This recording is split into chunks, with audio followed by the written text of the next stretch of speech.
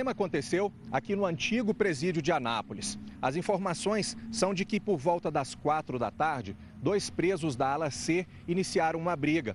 E por estar dentro do período de visitação, os outros presos se revoltaram e deram início a um princípio de rebelião.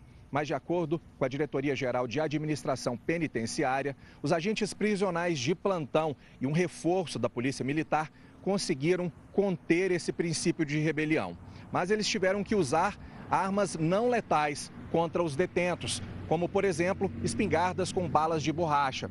Um deles ficou ferido e precisou de atendimento médico, mas, de acordo com a diretoria aqui do presídio, ele não corre o risco de morrer.